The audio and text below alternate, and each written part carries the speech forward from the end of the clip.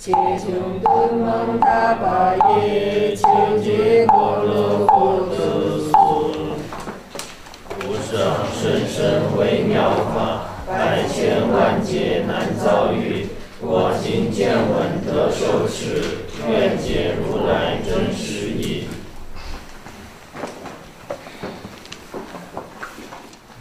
呃，四百三十九页对吧？呃，因而，呃，佛说破佛说之理由，呃，若欲入经藏，即须呃为佛欲三藏达成教，呃，云何云何如不续？这个好像我那天就讲了呢，呃，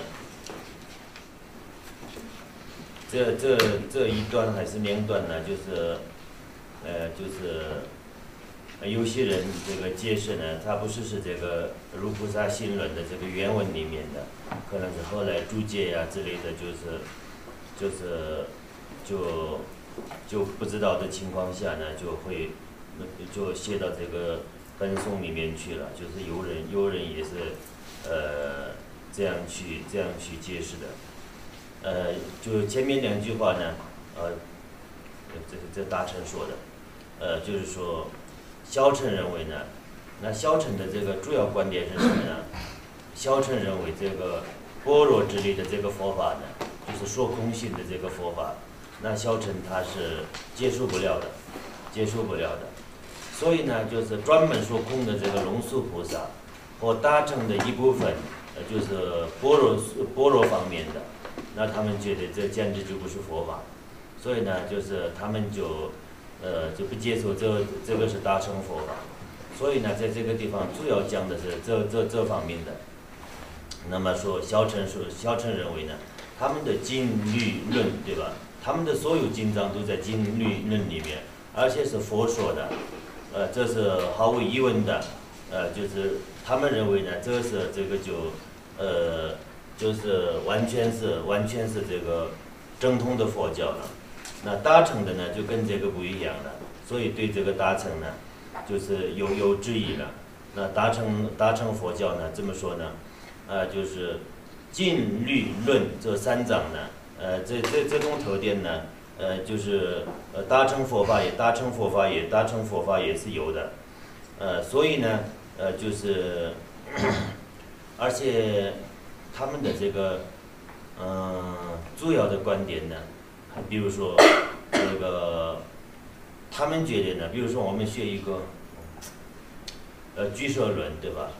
或者说随便一个这个小乘的经典里面，呃，就是每一个经典里面基本上都是戒定慧，戒定慧都都讲到了。但是般若里面呢，就是没有这样子的这个全方面的这个阐述了。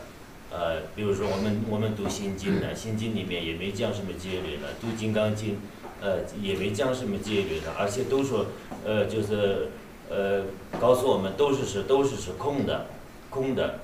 所以呢，他们就觉得呢，啊，这不是是这个一个正统的正统的这个呃这个佛呃佛法呢。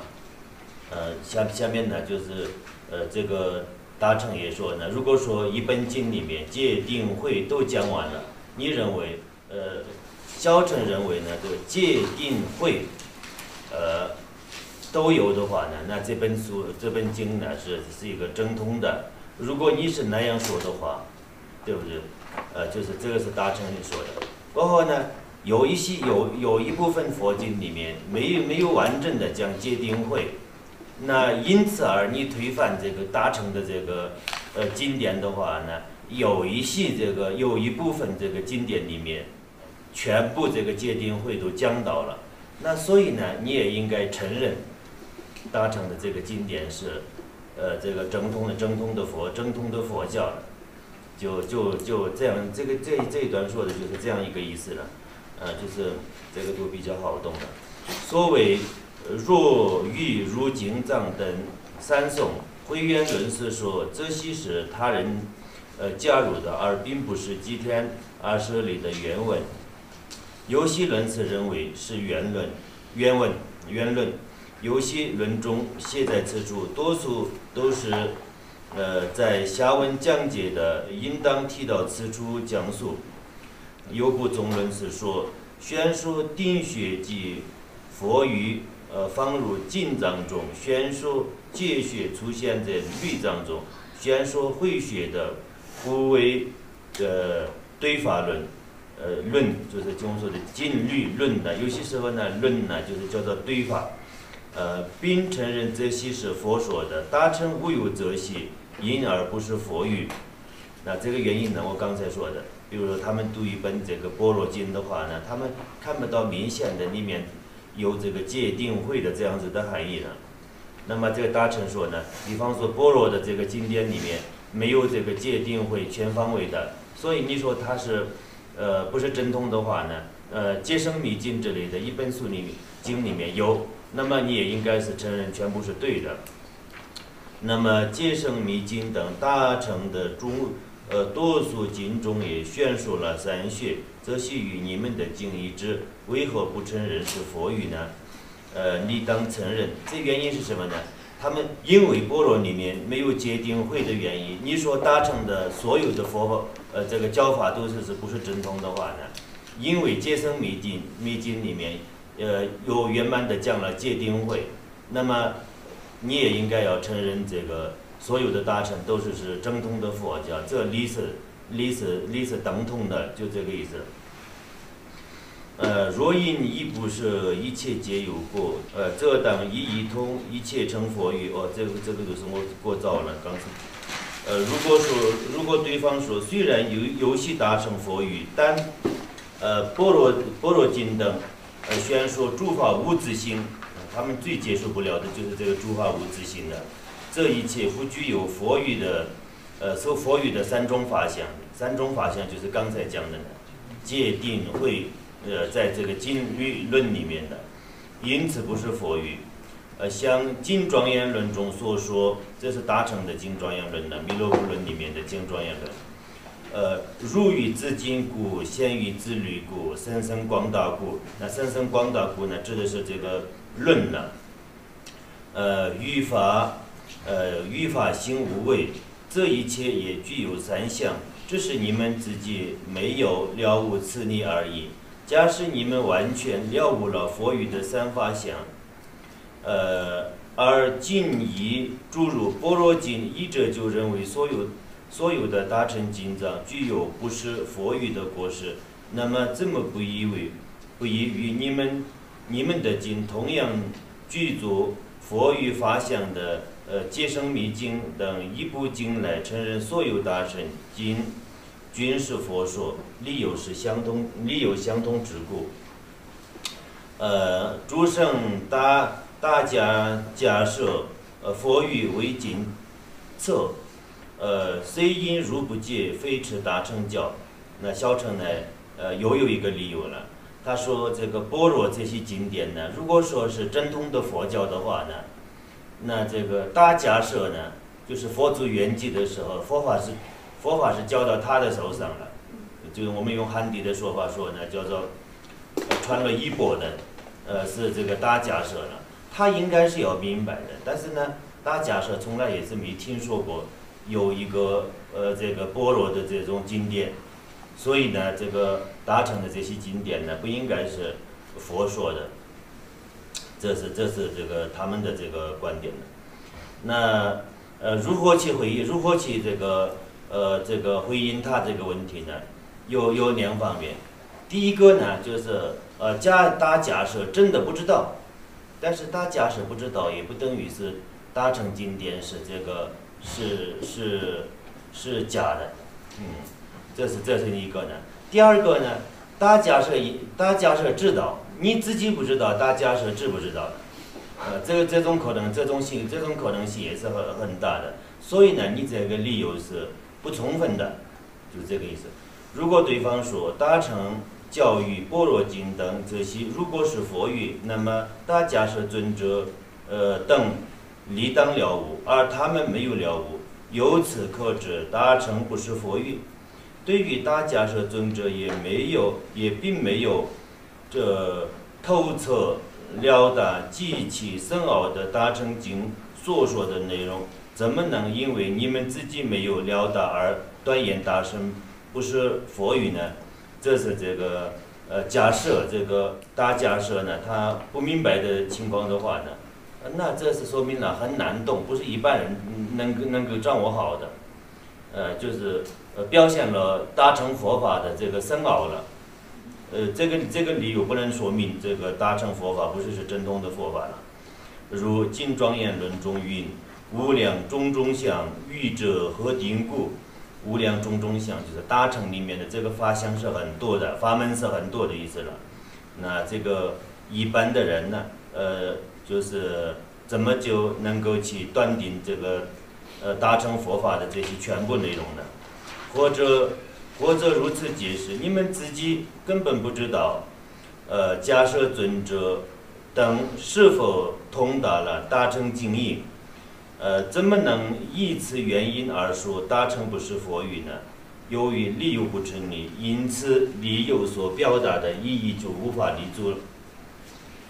呃，自三修持圣意正道分散，一为修。呃，圣意之国事，二修圣意之功德三舍义，除以为修圣意之国事分散，一为断烦恼不得涅槃，而烦恼而断烦恼也不得涅槃。嗯，三心美亦在现。呃，因三未断烦恼不得涅槃，呃，必求交为本，必以难安逆，心有所缘者。呃，心有所缘者，亦难住涅槃。呃，就是本来呢，就是这个呃，这个佛教的这个根本是什么呢？是比丘的，就是受了具足具足戒的比丘的比丘的。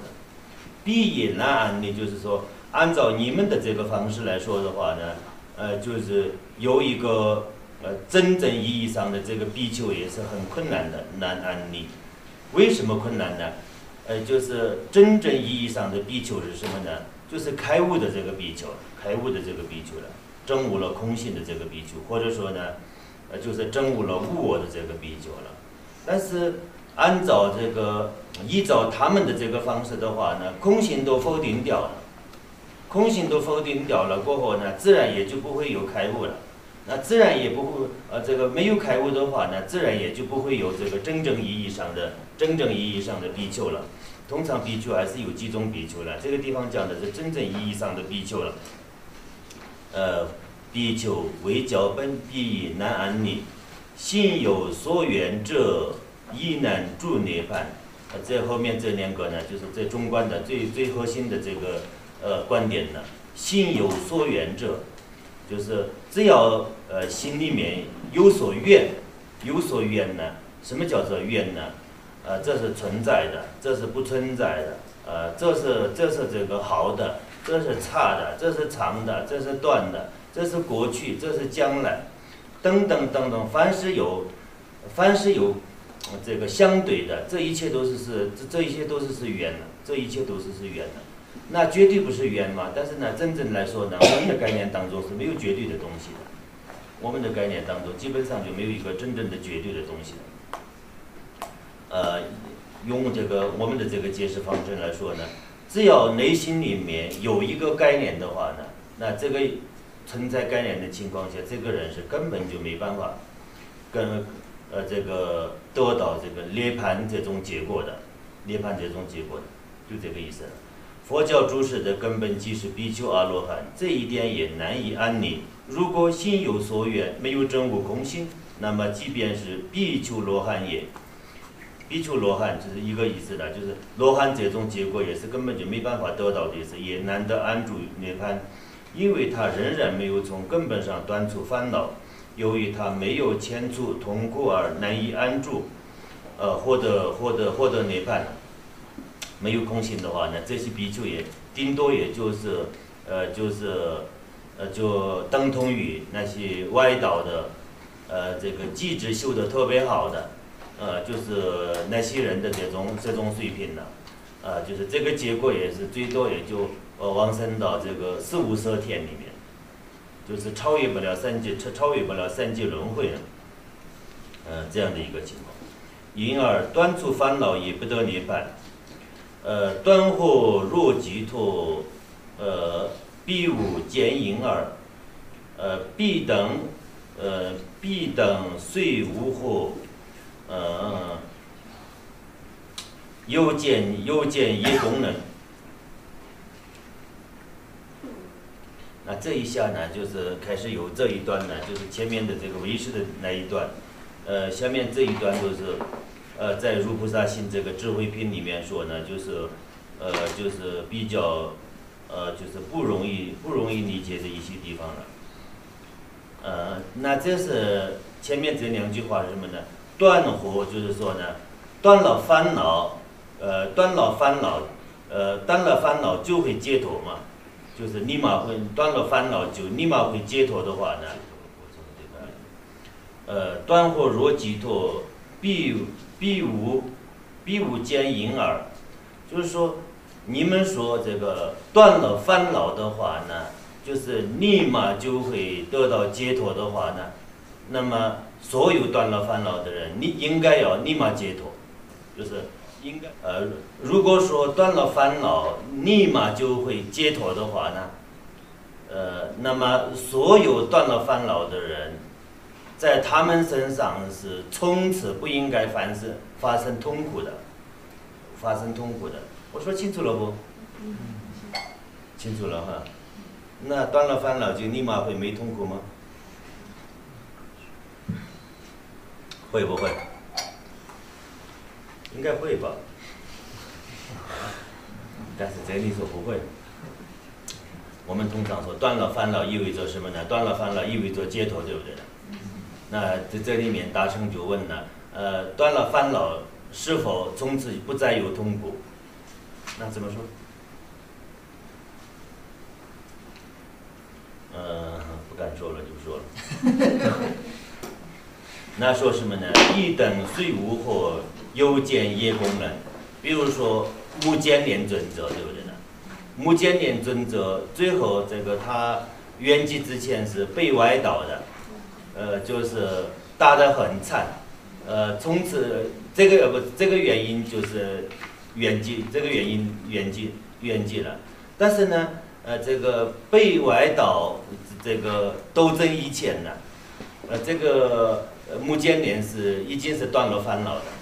他是一个阿罗汉呢，他还下地狱去度众生，呃，是是这样一个情况呢。他上来了过后呢，那些外道徒就是就把他打遍了。过后呢，就是从此就，呃，这个原因这个原因就圆寂圆寂了。这后面说的两句话就是这样的。比如说无间连尊者，虽然他没有烦恼，但是呢，他还是有痛苦，就这个意思。呃，必等必等，就是说目犍连尊者这种人，虽然无惑，就是没有烦恼，但是呢，又见业功能，他也是有这个呃这个业力的这个作用发生在他的身上，呃，所以呢，就是他也要这个承受痛苦。原来呢，这个不是业力的话呢，不说是那几个外道徒，这目犍连尊者是释迦牟尼佛的弟子里面神通第一的。就是呃，这个全世界的人集中在一块儿去对付他，也是对付不了的。但是业力成熟了，那天呢，就是目犍连尊者不说是去变神通，连这个神通想都没有想到，所以所以就被打得很很惨，这是业力的缘业力的缘故了。如果对方说虽然没有证悟这样的空性，但通过修行，呃，修行运无常等。运就是无云了，无常等呢，就是我们通常说的，就是这个，呃，诸行无常，有漏皆苦，呃，这个，呃，诸法无我，呃，这这就这些了。等人无我，也能断除烦恼，脱离脱脱离痛苦。这个字面上的意思有不同的理解。人无我，对不对？人无我。大乘大乘的这个佛教里面呢，呃，这个人无我也是空性的一部分，呃，或者说呢，大乘佛教徒认为人无我也是空性，但它是空性的一部分。但是小乘的这个理解里面呢，人无和人无我和这个空性是完全是两码事。他们觉得人无我是合理的。说人无我呢，在乌云上面呢，就是每一个人的这个乌云上面，呃，就是从来就没有存在过一个一个自我。那么佛告诉我们，人我这个道理是合理的，但是呢，说不存在被子，不存在被子，那这这完全是诽谤了。明明看得见有它的作用，所以呢，就是根本就就是不应该。说它是空性，或者说不存在，它完全就无我或者空性呢？它是分开来、分开、分开来、分开来理解的。真正来说呢，比如说我们的这个呃这个身体上面，或者说我们每个人的乌云上面，没有一个自我，或这个这个物体上面没有一个杯子是等同的，等同的。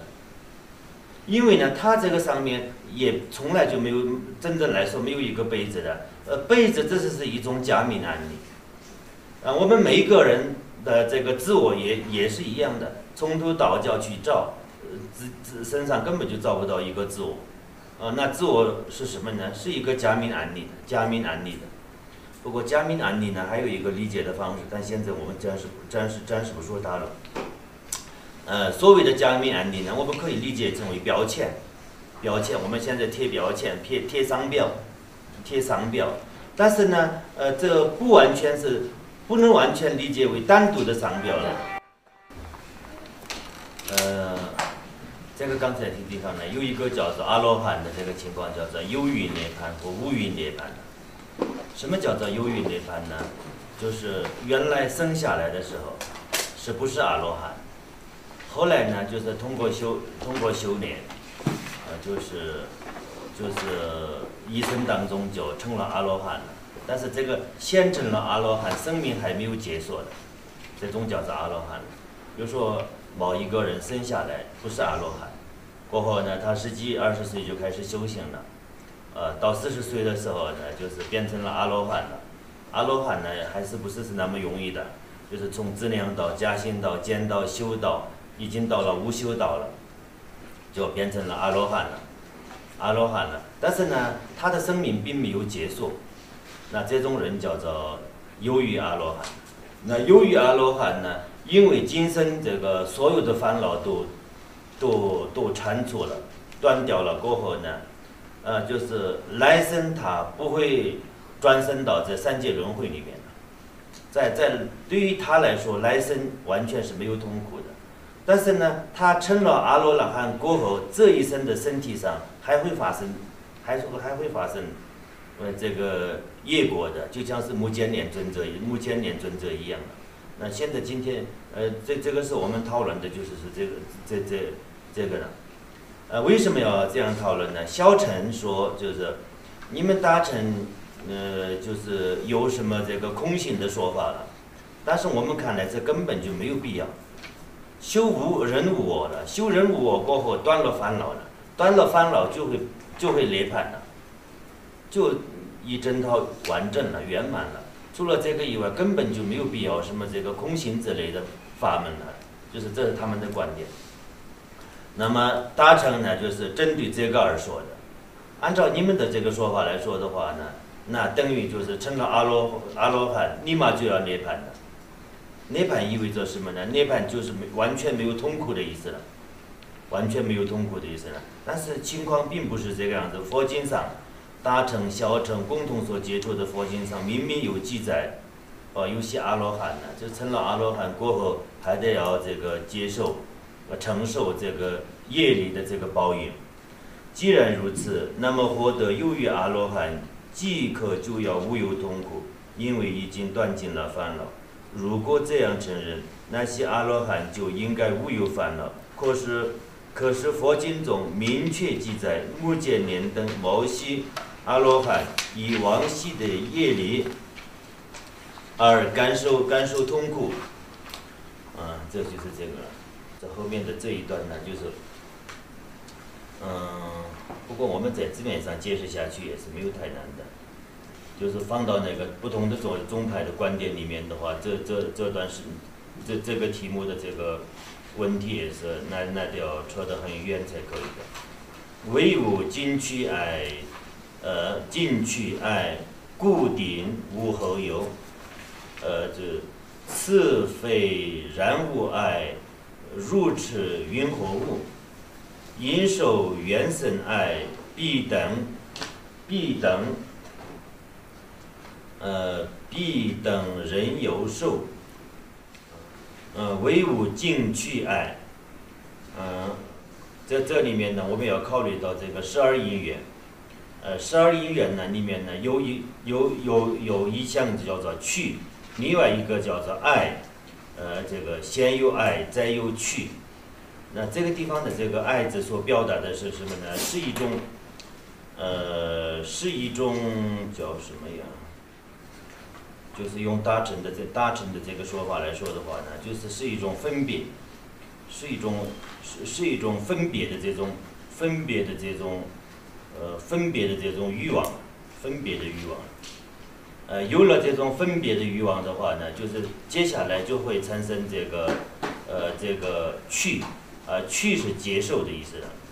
那么刚才第一个分别的欲望呢，就是啊自己发现有些，比如说我们我们的这个吃的东西，啊这呃某一种呢自己发现这个味道很好，旁边的那个呢，那这个味道就糟糕极了，已经是腐烂了的这个东西，或者说过时过时的这样子的一个东西。啊，首先有了这个刚才这个爱呢，就是这个分别的分别的这种。分别的贪念，分别的贪念，有了这个分别的贪念呢，接下来呢就是尽量就就不要分到这个不好吃的了，就是想想得到好吃的，就是接下来呢就是行为上行为上就就就有这种取舍了，这个叫做取。在这个十二因缘里面呢，这两个也是最是就是让这个。终身这个轮回起到作用的就是两相了。那如果说有一个修行人，呃，就是通过修这种无我的智慧，有一天断出了这个呃这个去和爱这十二因缘里面的这两相的话呢，固定和无有，他必定不会转生转生在这个三界轮三界轮回里面，就这个意思。那这什么样的人才做到这个呢？阿罗汉。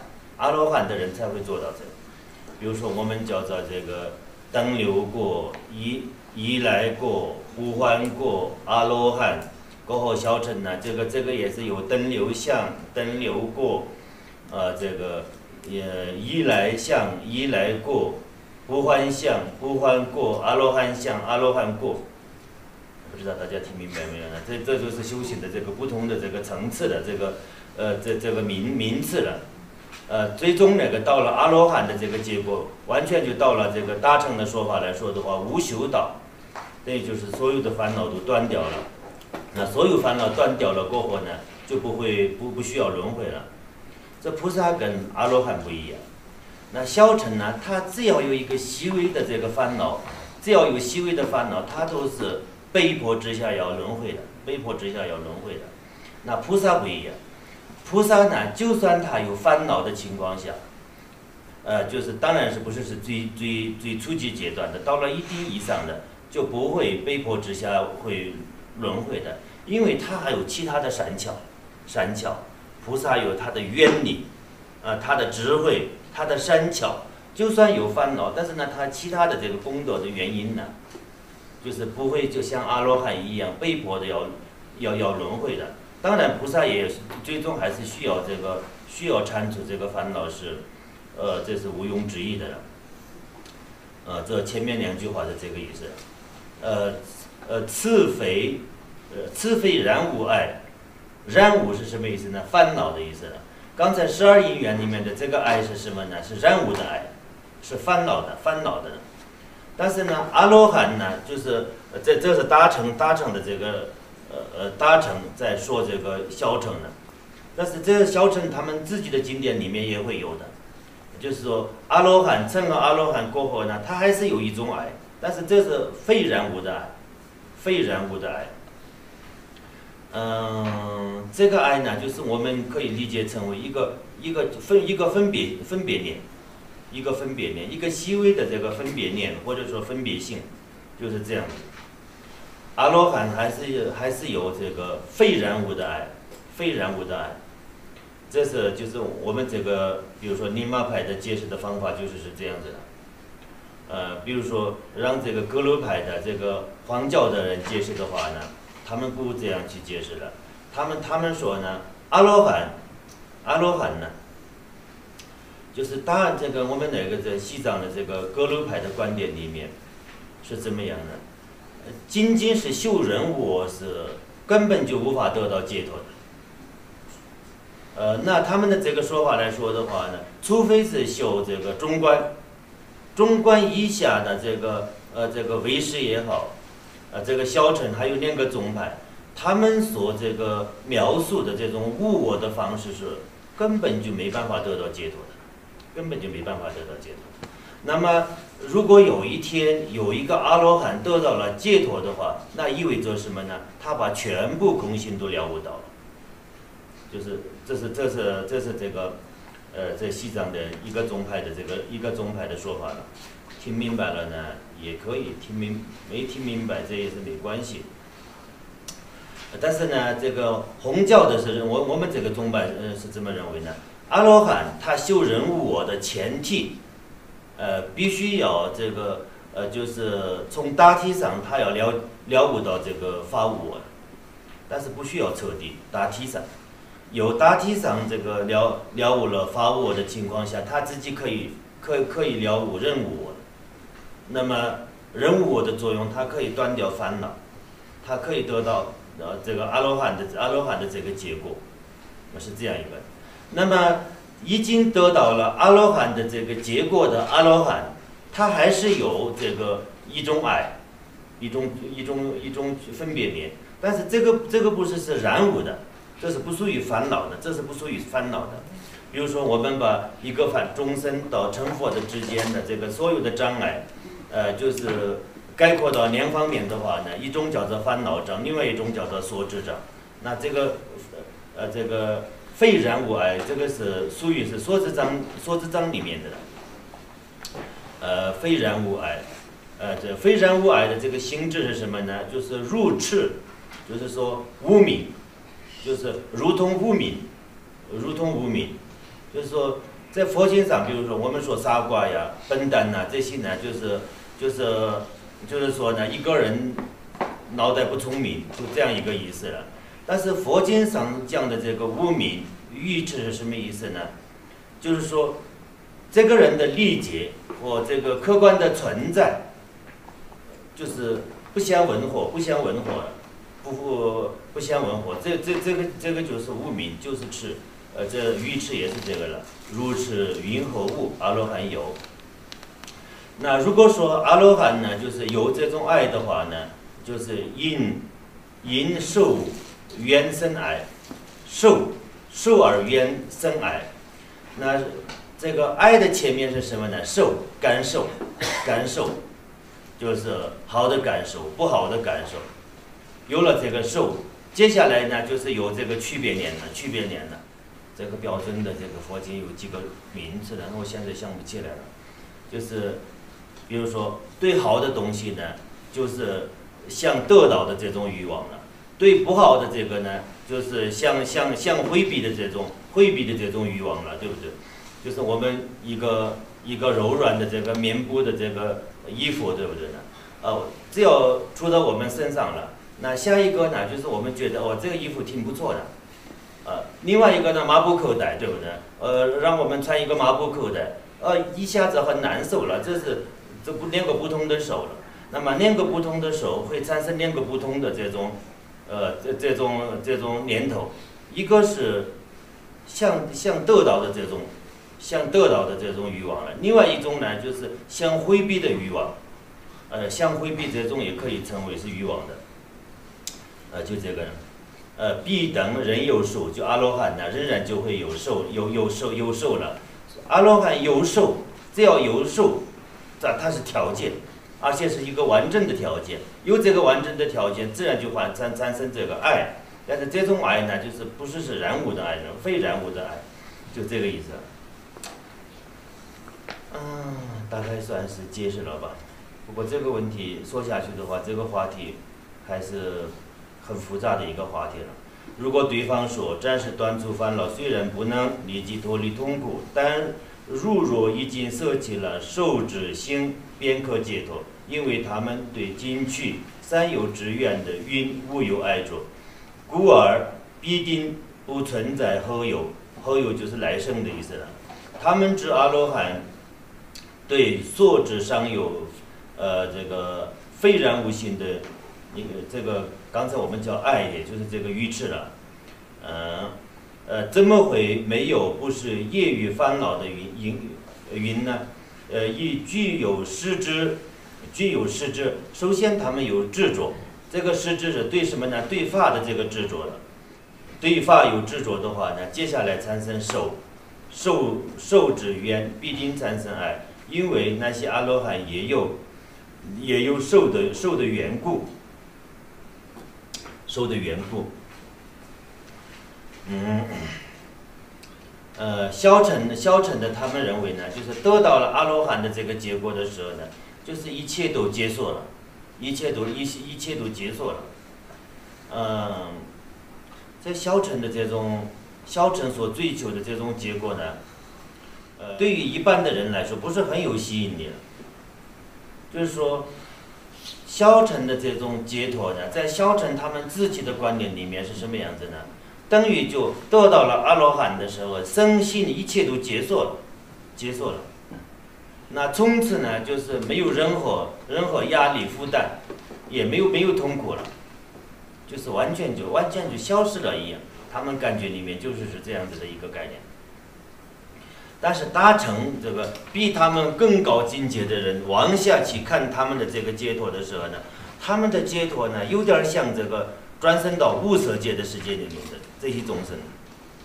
当然了，比这个更更高一点了，他们无论什么样的情况下都不需要再再再转回三界轮回了。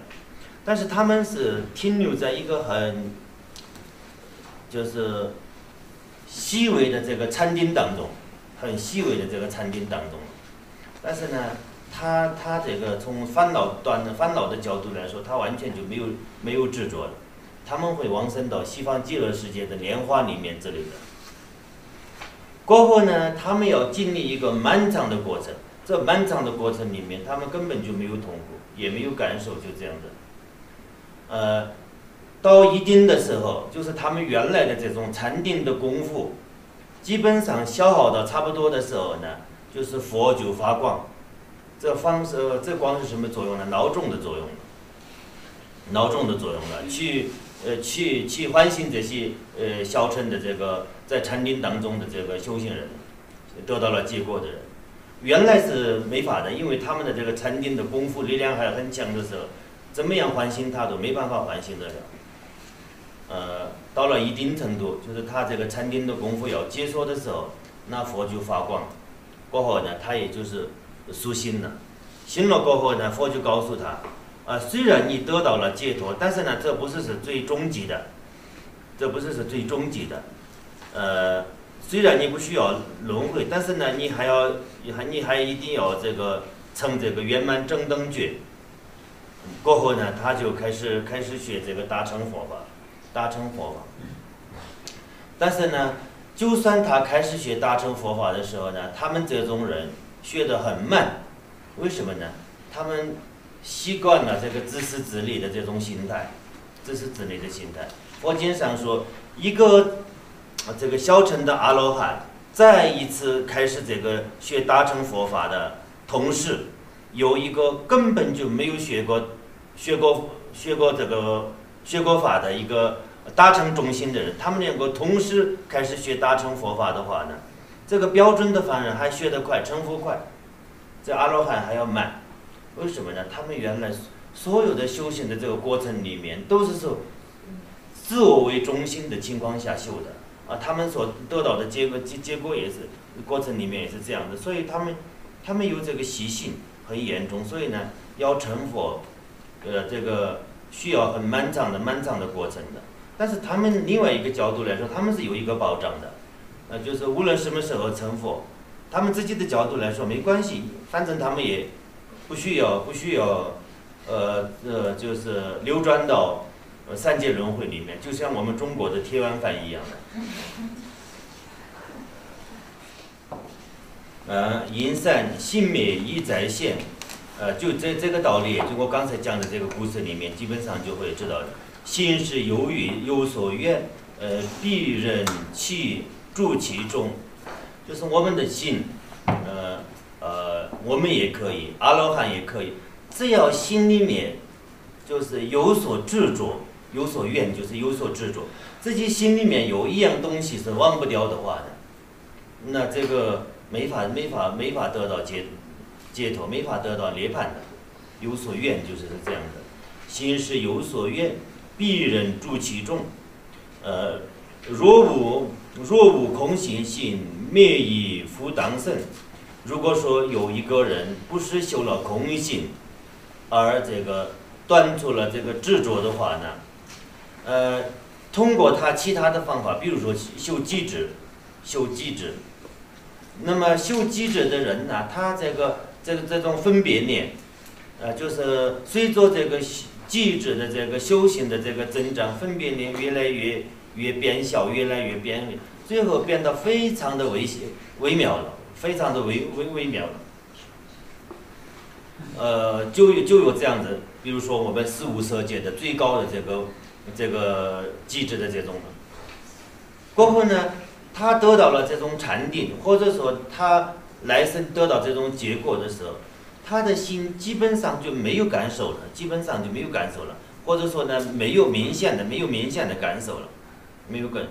那这种状态里面，他会他会经历一个漫长的过程，但是最终有一天还是会返回来的，还是还是会返回来的。为什么呢？他不是是修空性而，呃，就是铲除了这种执着。因为他们的执着的执着的这个种子，种子还在，种子根还在，犹如无相定，故当修空性。所以呢，就是完全要得到这个解脱的话呢，就是唯一的道路，就是就就必须要去修空性了。就我们有些时候，呃，会听到这个佛祖这个传了八万四千法门了，八万四千法门了。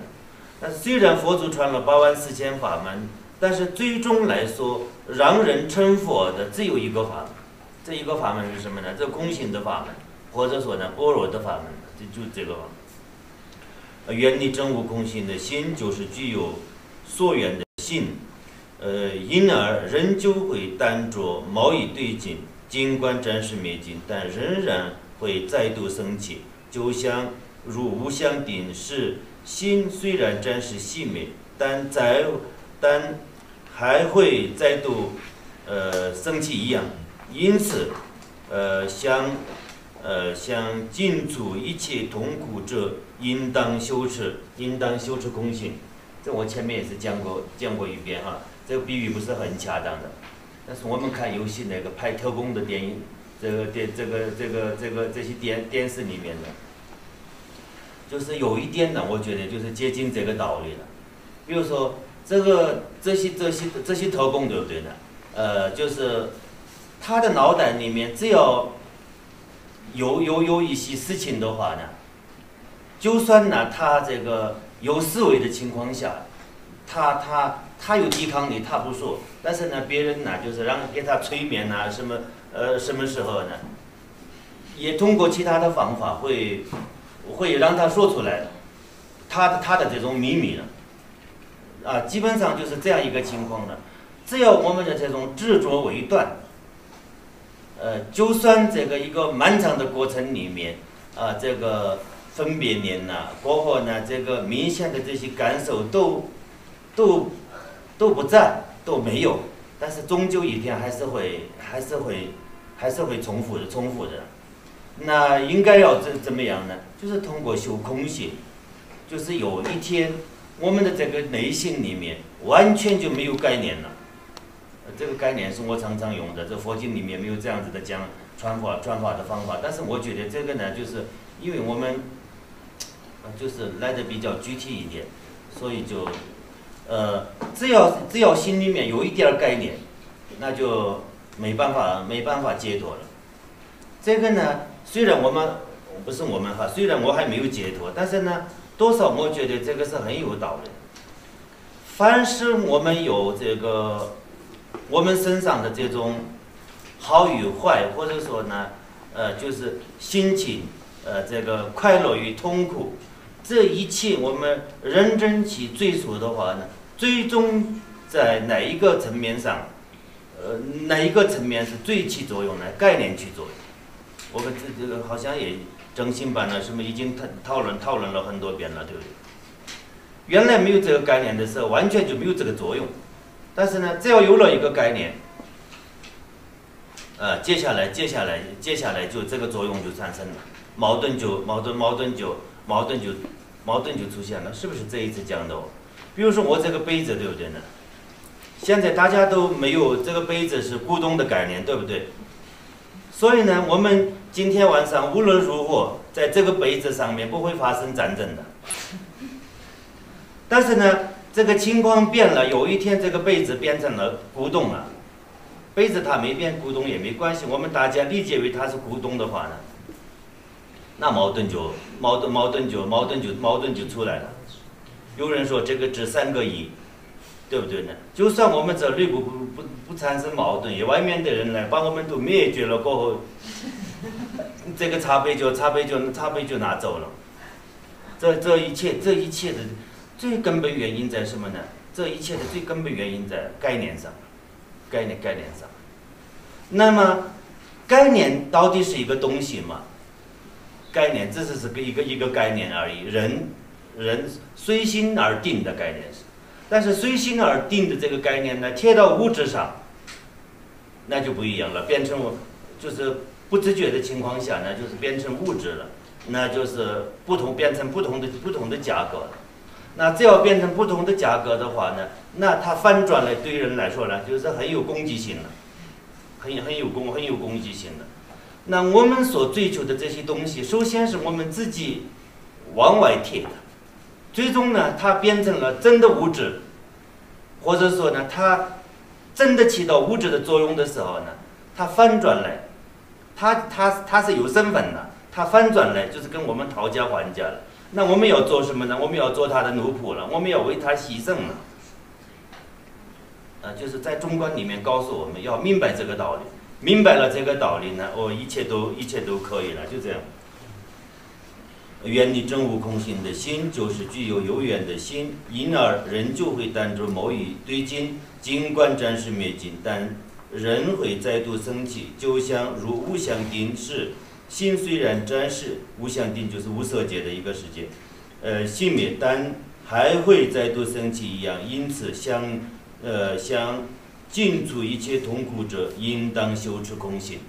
就是说，我们不想有痛苦的话呢，用我的话来说，我们先把这概念去掉。呃，那概念去掉，如果说我们的这概念都没有的时候，我们自然就不会有痛苦了。那接下来的问题呢？概念到底会去得掉吗？就这个这个这这个问题，概念到底会去得掉吗？但是这个修通过修修空性的话，通过修空性，这个力我们明了，这个概念我们也自然就会放下。呃，周而呃修生以之功德分二：一承办而立，二端坐而长。因一承办而立，呃承办承办而立，唯独呃唯独于苦中菩萨立坛具，呃备至助轮回，刺激刺激无空过。我们我们我们的概念当中呢，就是费尽心思的去去思考。过后呢，做计划，那通过这个方式才会成功的，通过这个方式才会成功的。但是真正这个菩萨道上看起来的话呢，我忘记了，不知道谁说的，曾经听过这么有一句话，就是真正的这个成功呢，那些不怎么想成功的人才会得得到，不怎么想成功的人才会得到真正的成功的，对不对呀？但是这个慢慢这个去思考的话，这挺有道，挺有道理的，挺有道理。呃，比如说我们学一样东西，呃，比如说学乐器之类的，就是你很很用功或者说呢很猛的这种情况下，呃是没办法没办法学没办法学的没办法学得好的。嗯，这个比喻也不是很恰当。这里也不需要比喻，算了，往下读。嗯，呃，我哦，对对对对，这个都不用比喻，还有很多现成的嘛。我们大圆满说这个无修无证，对不对呢？呃，禅宗里面也有很多这样子的这个这个句子的。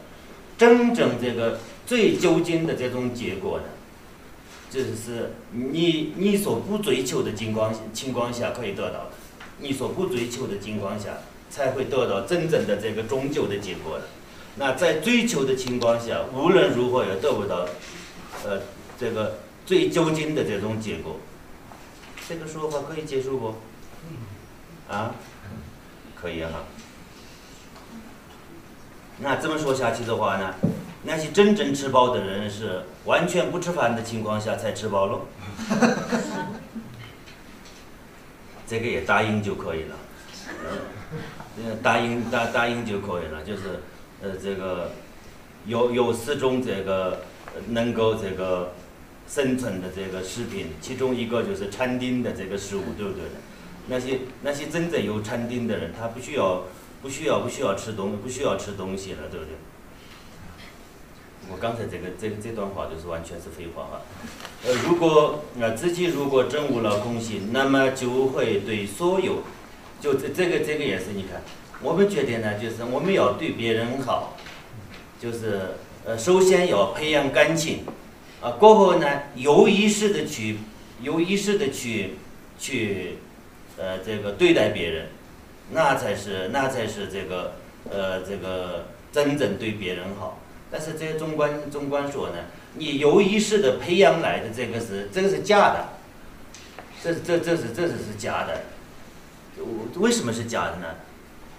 被造作之下发生的，被造作之下发生的，被造作之下发生的，自然也就是自然也就是假的了，自然自然也就是不自然也是假的。你看这个在这个地方说呢，我们越来越发现一切都是空的。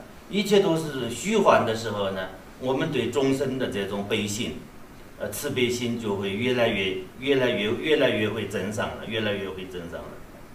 原来我们的悲心是一般的悲心的，呃，我们通过了真悟空性而发生的这种悲心叫做无缘大悲，无缘大悲，就是说完全是没有概念的悲心。这种悲心是大悲心，只要我们有概念的话，它是有局限性的。它是有偏向的，有局限性的，但是没有概念而发生的这种悲心，那那是超越的，呃，那那那是那是无限的，就这个意思。呃，由于不知空性而痛苦的由情生气，生气悲心。呃，这个我们去年学过入中论了，入中论前面呢就是讲三种悲心的，一个是呃这个愿众生的悲心。缘法的悲心，过后第三个就是无缘的悲心，无缘的悲心了。呃，这个是不同不同层面的这个悲心了。因此，为了利益他们而远离探知轮回安乐、畏惧痛苦之而变的方式，住在轮回中承办无量利他生意事业，就是真正有这个空性的智慧的人呢。他既不像众生一样，啊，这个被迫的流转在三界轮回，他也不像这个阿罗汉一样，就是呃去追求一个这个独善其身的治疗的这种阿罗汉的这个结果了。那么他是什么样呢？就是说，他只要终生存，只要虚空存在，终生存在，他就在这个这他就在这个宇宙空间里面去利益众生。但是因为他证悟了空性的原因，自己完全就不会，呃，不会被这个伤害。那这是菩萨的，这是菩萨的特点了。菩萨具有这种特点是什么原因而发生的呢？是空性的原因发生的。说更说准确一点的话呢，因为空性的法融入到自己的心的原因。因而端坐端坐而正，空性能对之，烦恼所执障，俗欲成佛者，何不修空性呢？空性能对治，真正来说不是空性在对治呢，就是正悟空性的性在对峙的，不是正空性在对峙。呃，但是佛经上就是这个是通常就是这样，这个这个说法，空性能对峙，对峙什么呢？烦恼障或所知障。那这两个障都不在的话呢，是什么样呢？是这这个一个佛了。那么我们想快速成佛的话，该怎么办呢？那得要静静的去修习这个空性的法门了。呃，阻碍编织佛国之烦恼障与所知障，黑暗的对治法，即是修空性。呃，因而想要迅速获得编织国位者，呃，为什么不修空性呢？必须修持空性。这这个这个地方呢，是两个原因说了这段话。一个原因呢，这是小乘的人，他觉得呢，只要修一个物我就可以了，不需要修空性。呃，这是这是是一个原因的。那他们两个之间的这种这种这种这种差别呢？第一个是这个修不修空性的原因上，另外一个呢，人无我，呃，这个是否属于这个空性范围里面的理解不一样而发生的。呃，这这是大乘和小乘之间的这个差别。那这里面我们要明白更重要的一个信息，那是什么信息呢？就是小乘在说大乘，大乘在说说小乘，他们他们他们这个这一出戏是这唱给我们看的，或者说演给我们看的，就是大乘说小乘，小乘说大乘。说他们在说，但是呢，明白我们要明白，就是大乘大乘否定小乘的时候呢，这小乘是什么呢？我们的观点，我们的观点呢？虽然他说的是小乘，但是呢，真正就是针对的，就是我们每一个这个呃这个想解脱的这些人呢，嗯呃，周三舍以不因妄破处，如伤空性力。切莫切莫心生意如离修空性，呃，不应该这个试图去否定掉这个空性的法门，就这个意思了。呃，这是第一第一句话。呃，切莫生疑心，就是千万不要对这个空性产生怀疑的这个心态。那那该做什么呢？就是要如理的去这个修这个空性的这个法门呢。呃，这这这是。达达成的这个达成的这个交界了。由于真悟空性有如有如是的功德，没有真悟空性有如此的过患，因此破斥空性是不合理的。不要怀疑空性。我们我们这个现不能真悟的最大原因就是真悟的时候有有真悟空性，或者说呢，我们有一天有机会变成了。见到或者说登地菩萨的时候，他会解决三个问题，其中一个就是怀疑，怀疑。呃，这个怀疑呢，就是也是最障碍人们这个证悟的一个一个一个原因一个原因呢。呃，不要怀疑空性是否为佛道，而应该如理修持修持空性。呃，修修持空性。以前这个。呃，这佛祖在印度的时候呢，佛祖讲心经的时候，啊，就是很多这个小乘的这些阿罗汉，不是阿罗汉，这小乘的这些修行人呢，他们听到了佛说眼耳鼻舌身都无没有了，就害怕了，而且呢吐血而亡，呃，不是因此就了了，而且还要下地狱了，还要还要还要还还要下还要下地狱下还要下地狱。就发生发生过发生过这样子的呃情况呢，因为他们不是是能够能够能够这个啊，换一个方式说一个吧，比如说我们讲忍辱，对不对呢？忍辱就是有三种忍辱了，一种忍辱是什么呢？就是遇上了恶人，他他会诽谤你，他会伤害你的时候，呃，能够忍下去，这是第一种忍辱了。第二种忍辱忍辱是什么呢？呃，在困难之下能够静静修行，这是的第二种第二种忍辱了。第三种忍辱是什么呢？这就是高僧的这种真理，自己能够接受，这这是第三种第三种忍辱了。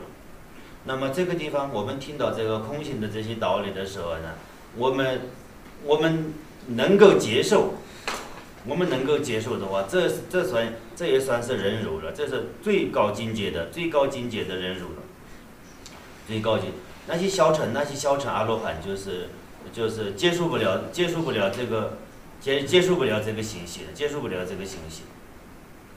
呃，比如说，呃，假设哈，我们是很执着金钱，呃，手头上还是有点钱，就是买了股票，就是有有一天早晨突然发现呢，就是，呃，这这这这股票呢，就是全部跌下去了，呃，过后呢再也没有翻身的机会的话呢，那有有可能这个人就因此而就是。叫什么？嗯，心肌梗塞了，因此而心肌梗塞，呃，就是会有会有会有会有这样子的情况，对不对呢？因为这个信息他完全就承受不了，承受不了。那么对于阿罗汉来说呢，他觉得呢，就是眼耳鼻舌身这些是明明看得到的，对不对呢？听得到的，这怎么可能是不存在呢？呃，没没有理由，所以呢，他执着这个东西。突然佛说以无眼耳鼻舌身无色身香味触法，这么一说的话呢，他就完全就接受不了这个信息。就我刚才说的呢，呃，是不是心肌梗塞我就不知道了。但是呢，吐血而亡就就这样子。但是我们中国人不是呀，对不对？我常常说的这个呢。我们是一边想发财，一边就在念无言而鼻塞生意，对不对？你眼耳鼻塞生意都没有了，你发财了有什么作用呢？对不对？呃，要么是一一一心里面是恐惧的状态，很害怕了，所以呢，就是掩耳盗铃，无言而鼻塞生意。但是无论怎么说呢，就是我们还是是达成的这种更新了，就是说。我所遇到过的我们中国人，对不对呢？让他选择，我讲一个三十因果经你听，还是说我讲一个心经你听？我想百分之百分之百的人都说是心经嘛，智慧，对不对呢？三十因果经那不算什么了，我一定要去听心经的，这是我们中国人的中国人中国人的特质了。那我这个我已经讲过了，对不对？我对这个做了个分析啊，我对这个做了个分析。是什么呢？就是要么呢，就是的的确确证明了我们是达成的更新；要么呢是什么呢？我们根本就没有听懂《心经》在说什么，根本就没有听听懂他在说什么，所以呢，我们毫无感觉，对不对？我们我们我们毫我们毫无毫无感觉。呃，比如说我不懂英文，对不对？那么你们用英文骂我。没关系，而且有人呢，就是把这个变成变成一首歌，一首歌，一首歌，过后在我的耳边经常唱的话，过了三四天，也许我也是跟着你们去唱，对不对呢？也许我们学心经就是变成了这个这这个样子的这个样子这一这是这样子的一种情情况呢。如果说这种情况的话呢，可能还不如阿罗汉。虽然阿罗汉呢听到了这个消息过后呢，下了地狱。但是呢，他的这个这个阿拉耶识里面呢，就是播下了一个听到的种子，呃明白了的种子。我们的这个明种阿拉耶识里面是完全是播下的是糊涂的种子。不过这个都是没有必要哈，我瞎说瞎瞎说的。不过这个问题我想了很多了，所以呢，就是经常不自觉就会会会会说会说出来的。我去我去香港，我们香港有一个佛堂嘛，就是问大家讲什么呢？要么就说，哎，师傅讲个金金刚经，要么就说讲个讲个心，简简单来说也是讲个讲个心经吧。呃，就是我已经重复讲了四遍还是什么呢？就是我的开场白是什么呢？心经说的，心经讲的不是是人说的话，呃，就是，也许大家听不明白，听不明白也没关系，就是。这不是人说的话了，所以我们不这个听不明白是清理当清理当中了，对不对？太太高太高深了。我说这个不是人说的话，这里是没有编，就这这这个编译的，呃，就是说这是佛说的话，对不对？佛说的话呢，这是完全是这这个在无名的这个呃，这个梦里面已经是这个醒过来的人说的话，我们还在做梦呢。呃，所以呢，佛经上有一个说法呢，呃，给做梦的人说白天的情况都说不明白的话呢，一个在无名之下轮回的人，给他讲佛的境界的东西，他当然也就听不明白了。哦，不过是这些都是废话，为什么要说这个呢？呃，就是说这个地方说的什么呢？不要去否定空性呢，就是要要要去修这个空性呢。呃，窥散是共同之意。呃，世之若世之能生苦，呃，欲必因生惧。呃，这个悟空能息苦，云何为空性？刚才我们讲有一些阿罗汉呢，有一些小乘的修行人呢，他是怕空性的。那中观就给他说了。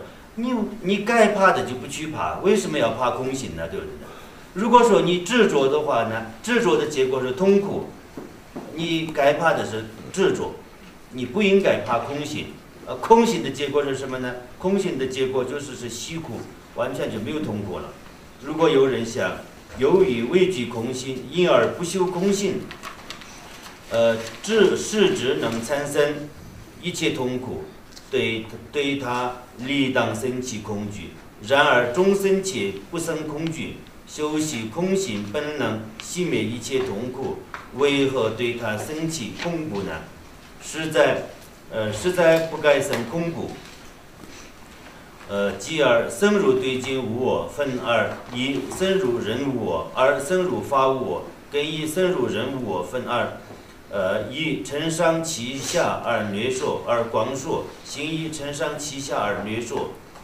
是我若若少存，呃，欲无，呃，欲无则有惧，呃，既无少分我，呃，谁复生为惧？呃，那我们众生的最大的一个问题是什么呢？恐惧，对不对呢？恐惧。那么在《如菩萨心论》里面告诉我们，你们不用害怕。为什么不用害怕呢？没有你，如果有你的话呢，你可以害怕。但是呢，完全没有你，没有没有你，就是说的就是没有我了。没有我的话呢，你还怕什么呢？没有人可以怕了，就这个意思。假使畏惧者，我有稍许存在，那么呃，对于任何对境产生畏惧，也是情理之中的事。如果呃我一丝一毫也不存在，那么生畏惧者。到底是到底是谁呢？到底是谁呢？就是，呃，就是禅宗里面，他们说，呃，这个修修禅宗的人，就是有一个修法叫做禅花头，对不对？禅花头，就是说，就是去参什么呢？就是我是谁的，我我是我是谁的。但是我觉得这个呢，我们首先要明白一些中观的这个逻辑呢，啊，不一定每个人都要明白哈。有些人已经是成熟了的人。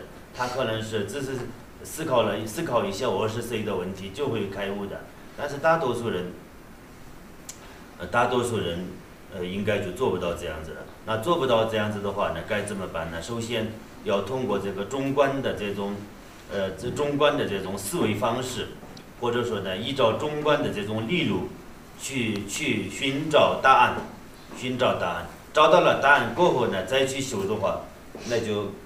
呃，这种方式呢，就是，呃，更保险一点呢。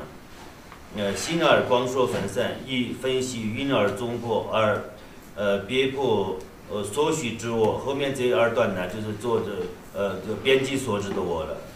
三，前足无我之争论，任意分析，呃，云而呃云而综破，呃，这一段也是，呃，就是我个人的角度来说呢，我最喜欢这个。这个入菩萨行智慧的一个原因呢，因为呢，这个一开始就他就是呃告诉我们这个修这个人物人物，而且呢，这个呢，它是针对于就是每一个人先天性的就有一个自我存在感，对不对？针对这个而说的，就是首先不需要学一些其他的宗派如何安理为我，过后呢再去再去否定它，不需要这样的。所以我觉得这个呢，就是，呃，就是，呃，做起来的话呢，或者说呢，修起来的话呢，特别的方便。人意分析人云，分析云而综破，吃法加非我，我非故伎学，非先非鼻涕，非龙非黄水，非脂非遗憾，非肺也非肝，我非与内脏，也非屎与尿，呃，乳与脾非我，脉气热非我，白荞亦复然，牛屎皆非我。那这都是没有没有不没有不不懂的。我们每个人先天性的就有一个自我存在感，我们从来就没有没有考虑过这个这个这个我在不在呢，我们只考虑就是外面的这些东西在不在，够不够化，就是这些问题以外呢，就是反转了，呃自己的角度从来就从来就没有没有没有思考过了。我们一般的一般的人啊，那有些人思考过了，就像是笛卡尔说的。就是因为我在思考，所以呢，我是存在的，嗯，对不对呢？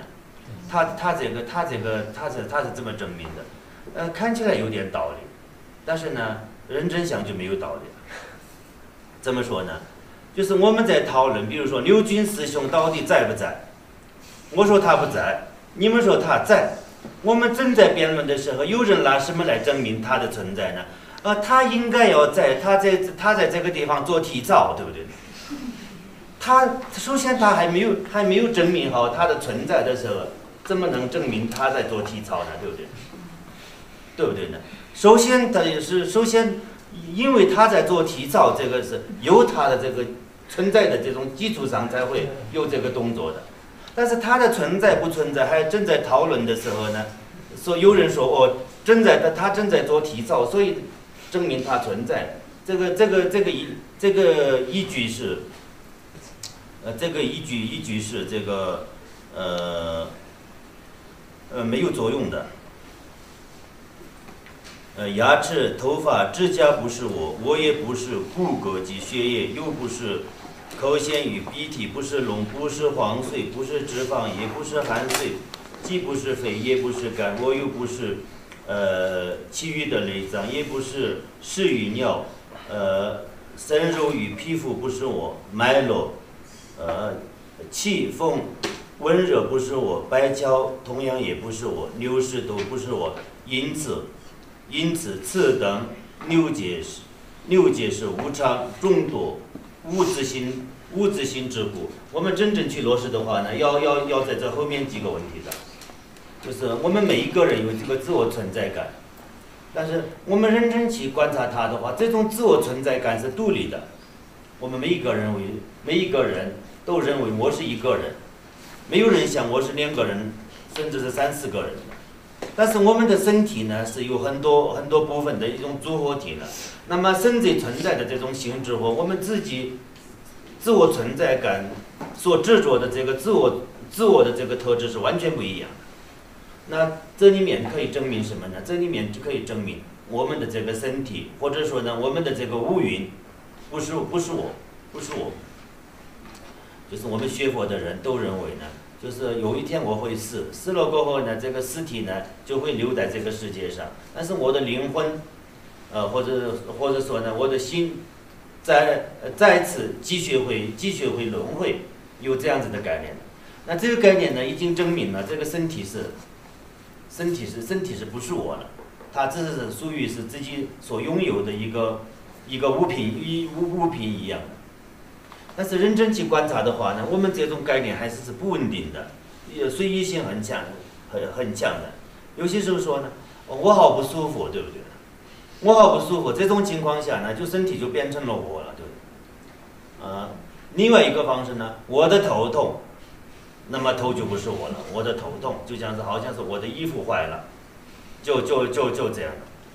那这一点上呢，就是说什么呢？呃，这这一点上，我们认真去想的话，会发现什么呢？呃，我们我们原来的自我，所谓的自我是随意性的，随随意性的。嗯，这个自我如果说是真的是随意性的话，那我们就没必要去特别的关心这个这这个这个这这个自我了，对不对？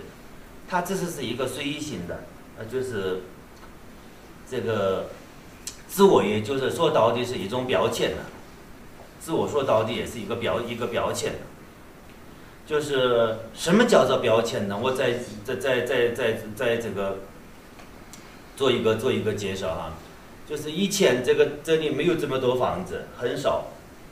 过过过过后呢，就是当时的有有这个康波讲座在，他在传法呢，就是有一些这个外来的僧人都是，反正也不多。夏天的时候这里人很少，就是我跟还有有一个人呢，我们两个晚上立一个这个木木头，过后呢在这这边绑一根木头，过后呢西藏的这种皮袄你们知道吗？就是呃这个牛皮或者说羊皮做的这个长袍的衣服呢，就是翻一个面。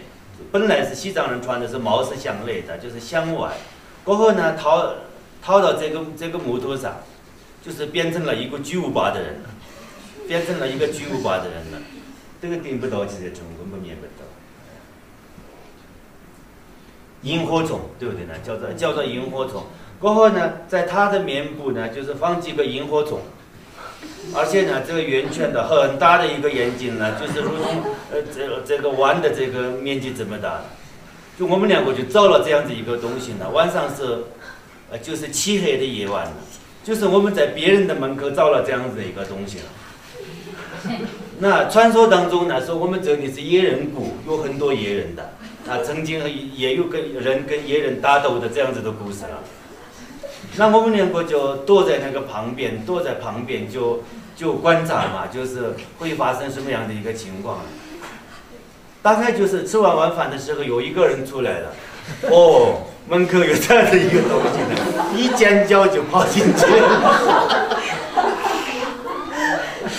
过后第二个人、三个人都会都会都都会都会都会都出来了，但是没有一个人真正敢面对的。在人在恐惧当中是怎么样的？他叫就到这，喊叫就到，就是是这样的，有有有有有点像，有点像我们念格萨雷的时候这个拍，对不对？我们为什么要拍呢？自己已经很害怕了，所以呢，拍就是这样子，就就大声叫一下的话，自我自我自我安慰嘛，对不对？就这种呢，就是有一个人他不敢出来，但是呢，在门口就在大声吼呢，大声吼，就就就就就这样了，对不对？这就是叫，这是什么呢？这是这是加密案里的这个野人了，野野人了。真正来说呢，他这根木头上、这个皮袄上、这个萤火虫上，这这个形状上是，就是不说是有一个真野人，连这个野人的这个。影子都没有，对不对呢？影子都没有。但是呢，人们突然间看到了这个的话呢，是一个真真切切的野人。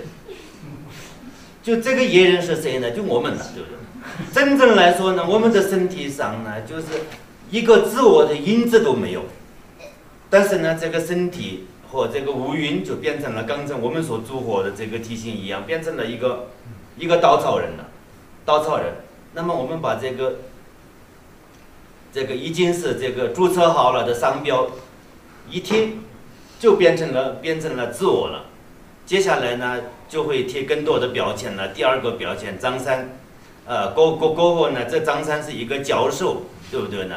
而且是他是学马克思主义的，等等，就是这样子加上这加过去的话，可以加一个无数的这个标签呢，啊，就是越贴越多，越贴越多，就是。真正来说呢，我们换句话来说呢，中观要做，我们修行要做的是什么呢？在这个客观上，客观上把所有的这个主观色彩都去掉。有一天做到了，修行要做的就这么简单，没有没有更没有更多了。所谓的空性是什么呢？就是客观上的一切主观色彩去掉了，那是什么呢？那就是空，那就空性了。除了这个以外，没有没有没有空性的。空性的作用不是是去毁灭掉这个世界，空性跟原子弹完全是不一样的。